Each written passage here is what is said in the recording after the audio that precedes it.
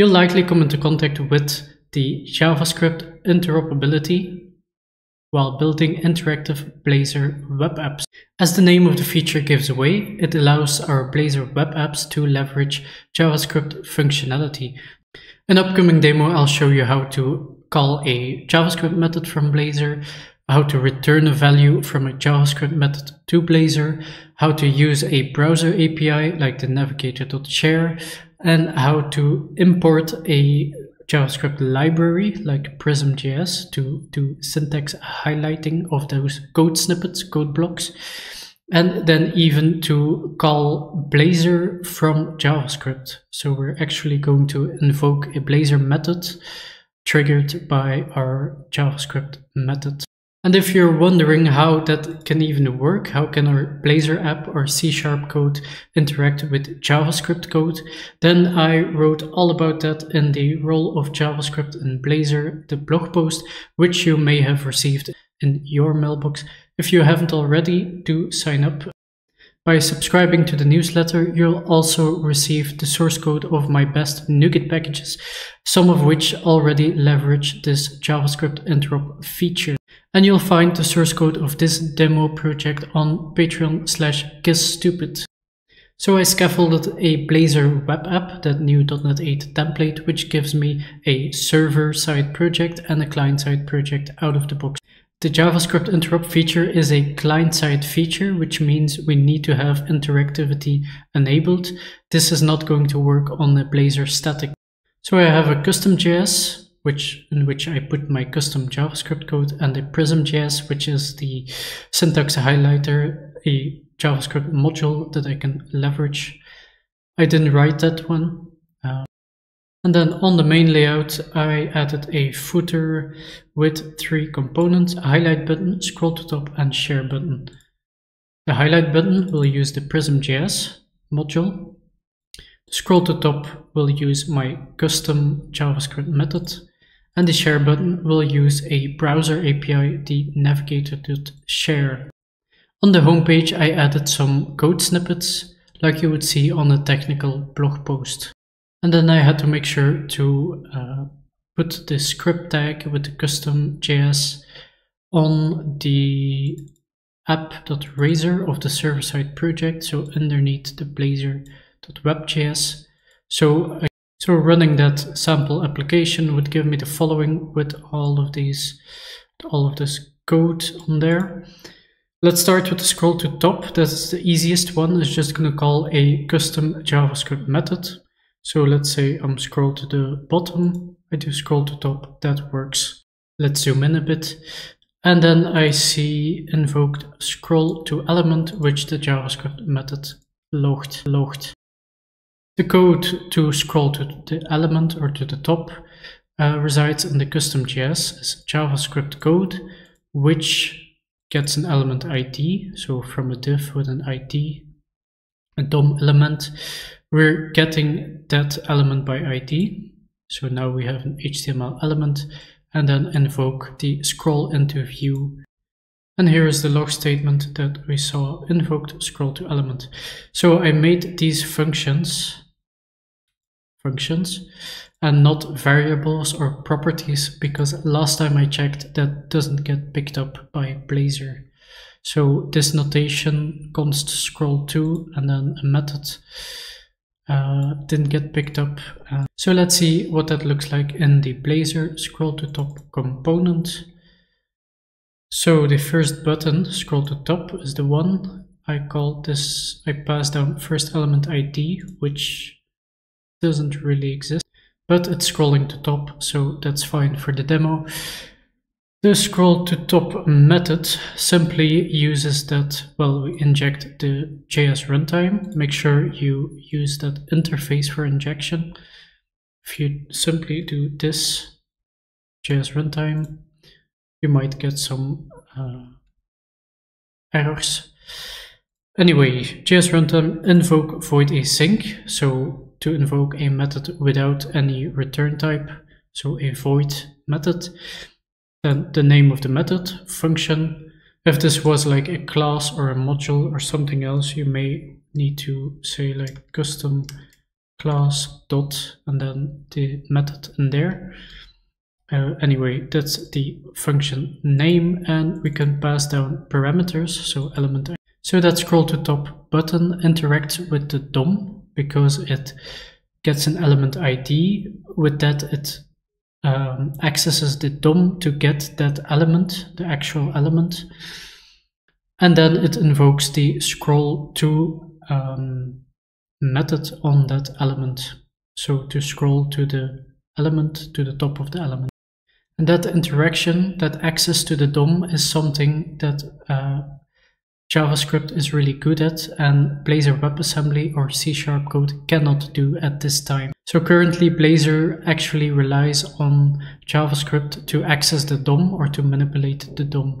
So even with Blazor's data binding that will, let's say we bound the color green to certain uh, label and now after a button click that needs to turn red then actually that DOM manipulation has to be communicated from Blazor to JavaScript so that JavaScript updates the DOM. For Blazor to correctly communicate those changes, those things that need to happen, Blazor uh, keeps in, in memory a render tree, that's what it's called. It's kind of a copy of the DOM, a bit like a virtual DOM or a shadow DOM, which React.js uses, for example, which is then compared, a bit like the state of the DOM, so to say.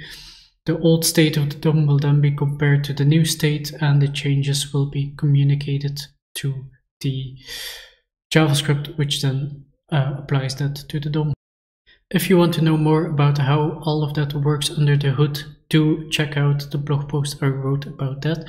I explain everything from the browser with the browser or layout engine, the JavaScript engine, the WebAssembly support, and how these things can work together. So simply clicking highlight code should do exactly that. Highlight. So what Prism.js did is, like you see, it altered the DOM to uh, apply classes and styling to the HTML document. So not only does it have a lot of cool already built libraries functionality available, but also Blazor heavily relies on JavaScript too.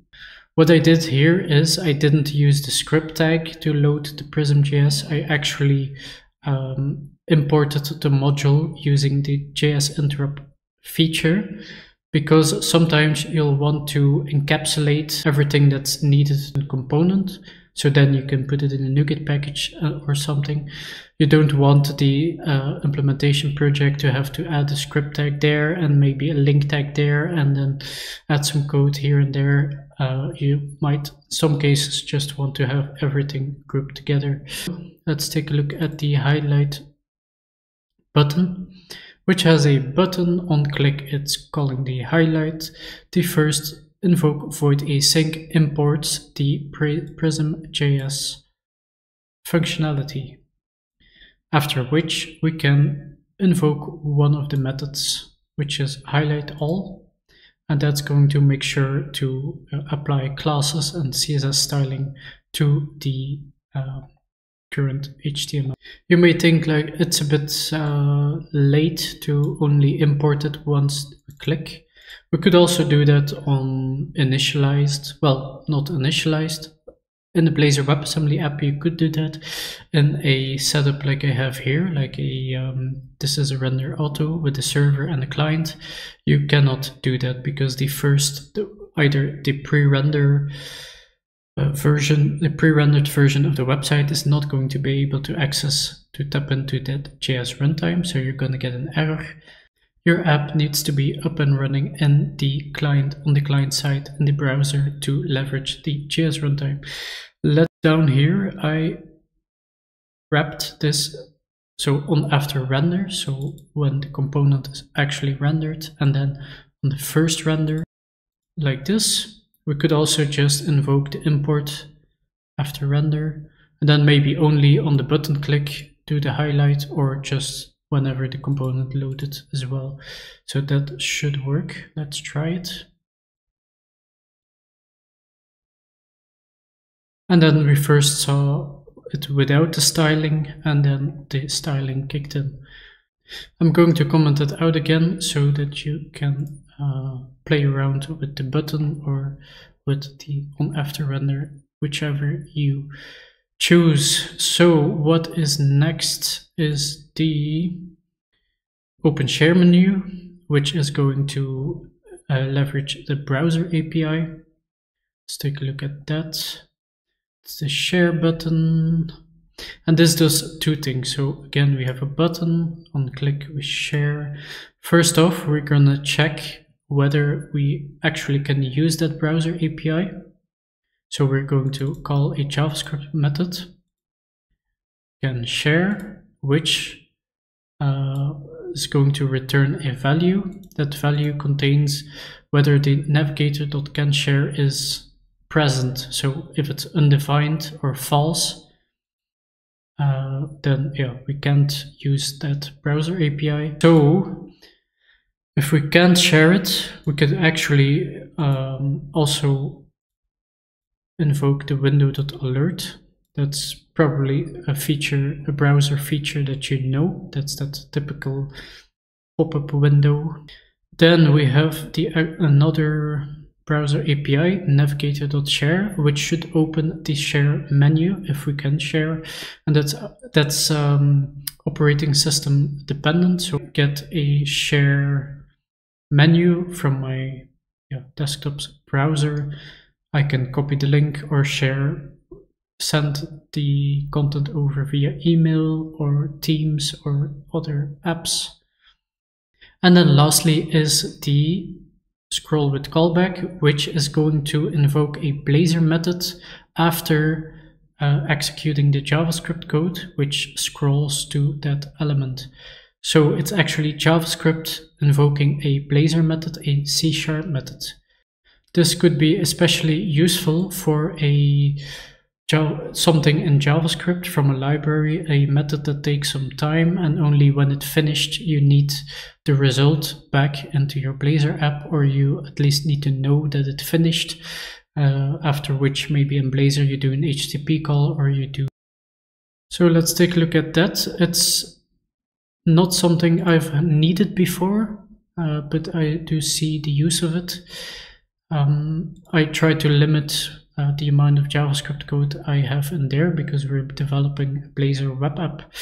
But the ability to pass values back to Blazor is actually really useful to limit the amount of JavaScript because let's say we couldn't do that, then we'd had to do that HTTP call in JavaScript, for example. So this method also resides in the custom.js scroll to with callback, which has that same element ID to scroll to the element, also logs invoke with the name of the method, and then it does the report back method underneath and passes down a ref, well, reference. We'll take a look at that later.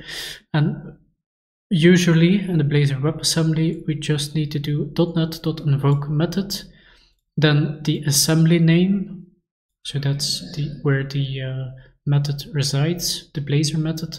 So that's in the Blazor.client, then the method name, or you can uh, rename that using an attribute. We'll see that later. And then optionally, you'll need to pass that object reference. In the Blazor WebAssembly app, I don't think you need it uh, in this setup because we have a server and a client which both have this yeah, .NET object.